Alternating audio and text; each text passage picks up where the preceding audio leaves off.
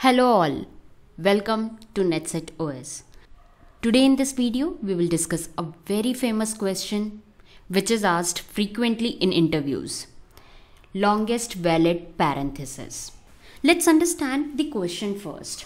It says valid parenthesis. Valid parenthesis in the sense the parentheses which are in pair or we can say it has open as well as close braces. Now if we see the first expression, it has all valid parentheses as they are in all pairs. So we can say it is a valid parenthesis. Now in this question, it asks longest valid parenthesis. If I have been given an expression, I need to find out longest balanced parenthesis as in it should not only have valid but also it should be together. As here we have six parentheses. 1 2 3 4 5 6 and in this expression it is a longest one. Let's see the second expression where we have an open braces then open and close braces. So we can see this is a balanced, this is a valid parenthesis. But for first open braces, we don't have any closed one. So the valid parenthesis is just 2, which is itself a longest one. Now if we see the third expression, it has open braces, then a pair, then afterwards it closes the first one and then there is 2. So 1, 2, 3, 4, 5, 6. Let's look for fourth. First closing braces, then open and close. This is 2, then 2 and afterwards it is closed braces again. Now if I look for its open braces so that it can make its pair it will look for this particular braces which is a closed one. So this is not a valid parenthesis. So here the valid parenthesis will be 4, the longest one. So basically here we won't be calculating which are not paired. If it is paired, it will be a valid parenthesis. Now let's understand the strategy how to find it. Here we are taking the example First open braces, then a pair, then the closed braces and then open and closed.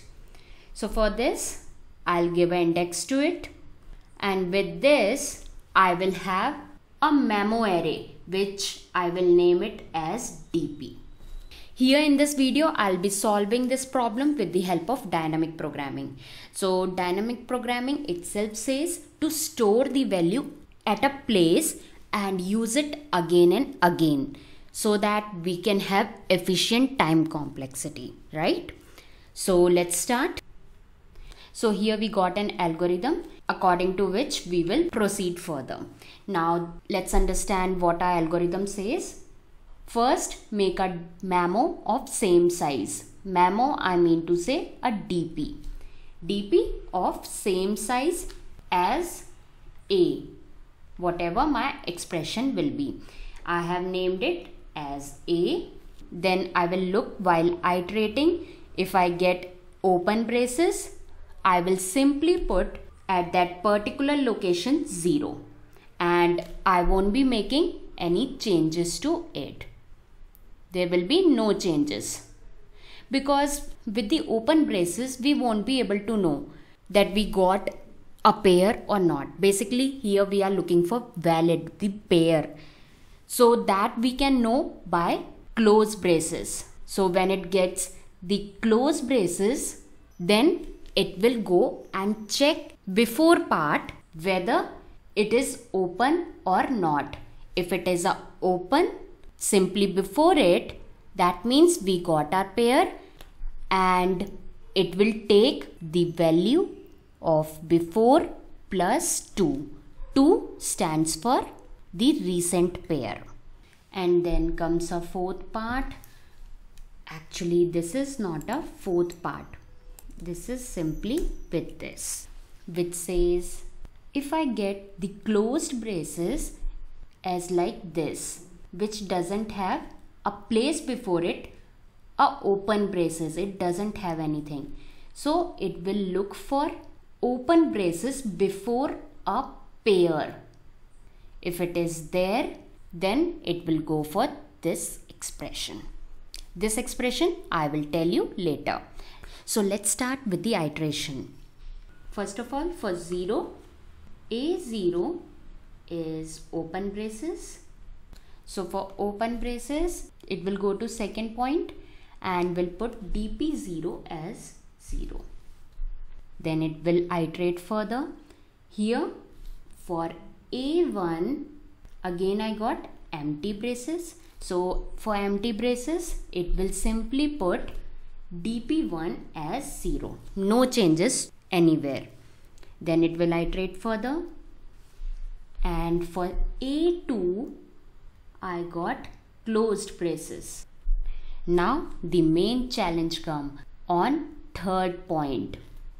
First of all, it will look for one place before it that is i minus 1. So at i minus 1 it's a1. Is a1 is an open braces so that it can get pair immediate pair. This is for immediate pair which is successful here as this is in pair. So it says to go for dpi minus 2 that means 2 place before it because here we have a pair value of dp which is 0 plus 2. 2 for this. The pair we got over here. So 0 plus 2 will be 2. So for dp2 I will put the value 2 then it will iterate further and for a3 we got closed braces so it will enter to the third point and it says look for its left value. So for left it is closed braces. So we won't be going to this. Then it says to go for if it is making a pair so go and check before it is making a pair. That means this value. I'll explain this. How it means this value a value before a pair so a i is the point on the cursor which is 3 minus dp i minus 1 which is 2 minus 1 so 3 minus dp2 is 2 so why it is looking for value of dp2. dp2 2 value. 2 value means here we got a pair. So I want to know the value of this before a pair minus 1. So 3 minus 2 is 1 minus 1. The zeroth value because 2 represents a pair over here. So the value before a pair is a open braces. So here it looks for the value before a pair which is a open braces. So here it satisfies. So it will go inside if condition. And here dp i minus 1, i minus 1, i is 3. So dp of 2 plus 2 plus dp of i minus dp i minus 1 2 minus 2 so dp2 is 2 plus 2 so here you can see first it is looking for the value which is before it. That means it got a pair over here. So here I wrote 2 plus 2 the recent value. As this is also making a pair 0 and 3. So here we got 2 plus also it is looking for the value which is before it. If we had any pair before beyond 0 it will take that value also. As it is a 0 there is no value over here so we will make it 0 and here we will get 2 plus 2 as 4 right hope you got this if you haven't got i will take one more example and will understand this part more clearly as this is the most important part of our code so it will iterate further so i'll clear the screen now at a4 there is open braces. So for open braces, it will go to second point and will put dp4 as 0. No changes anywhere. Then it will iterate further.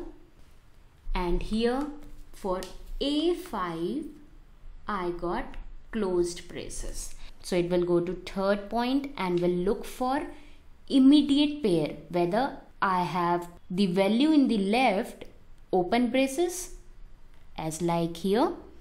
If it is there there here. So it will go the value before which is 4 plus the recent value. So 4 plus 2 is 6 so the longest pair I got over here is 6 let's understand this with one more question. So here I have taken one more expression a. So we will start iterating. Before that I have made a DP as I'll be solving this with the help of dynamic programming. So I have satisfied the first point. So for A0, it is close braces. So it will go to third point and will look for the value before it. Whether there is an open braces but here this is the A0. That means there is no value before it so this won't be going to this if a condition then it will look for if there is any pair in between as this is the first value so it won't be having any value before it. So it will return 0 here as it does not have any pair neither the immediate pair nor the open braces at before any pair. So it will iterate further. So at A1 it got it will go to second point and will make dp1 as 0. Then it will iterate further. So here A2 is close braces. So it will go to third point and will look for the value just immediate to it, just left to it. If it is open braces, yes, it is open braces. So it will go to two values before and will add the recent pair to it. So here we got 0 plus 2 as 2. Then it will iterate further and at A3 I got open braces. So for open braces it will simply put 0. Then it will iterate further. This time A4 is closed braces that means on third point and it will look for the immediate left point if it is open braces yes it is open braces so it will go two values before. That means this we already have 2 and we will add our recent pair which is 2 so 2 plus 2 will be 4 over here right? Again it will iterate and this time at A5 we have closed braces. So for closed braces it will look for immediate left whether we have open braces. No, this time we don't have. So it will not go to this if condition. Now it will look for, see if we have closed braces we'll be having two condition. Either we will have open braces immediate at the left so that it can make a pair or we will have open braces before. We'll be having pairs. So we have to look for this open braces. If it is there, then we will get a pair. If it is not there, we won't be considering this. So here it says A, the recent point is 5 minus the value before it dp4 because till now we got four values that means two pairs minus 1. So 5 minus dp4 is 4 minus 1. So 5 minus 4 is 1 minus 1 is 0. That means it is looking for a0 and we have 4 values in between. So it is looking for open braces but we have a close braces. So as we don't have any open braces over here, it won't be going to this if condition. That means we haven't got a pair for this. And it will return the value 4 as longest valid parenthesis because we have four values which are in pair right? So let's see how the program works for it. So i have the program in front of my screen which is same as algorithm. First of all we made a dp which is of same size as a. And we will fill 0 and I have named it as dp. Then we will look for in the expressions which is in AI if it is open braces it will be as we have filled 0 we will simply pass the value.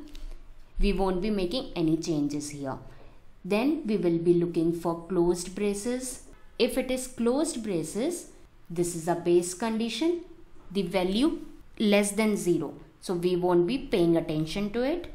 We will simply ignore it. Then as we got closed braces, we'll be looking for open braces. If it is just before it in the left, that is immediate pair. Then we will take the value just before it and will add two values, the recent pair value to it. And we will continue. And if we don't get the immediate pair, we'll be looking for the pair of closed braces before the pairs, which will be seen with the help of this expression. And then we will add the recent pair value, the before value, and the value before we get open braces. As simple as that. So let's rub this. And then we have the base condition. If length of dp is 0 then it will return 0 then and there. And here we will get max of dp so here we are looking for this expression. So let's run the program. And here we got 6 why 6 because we have two value then this 2 and for this we will get the open braces so it will make 4 2 plus 4 is 6 so this is how we can solve this problem with the help of dynamic programming. So hope you like the video. So if you like the video don't forget to like share and subscribe my channel. Thank you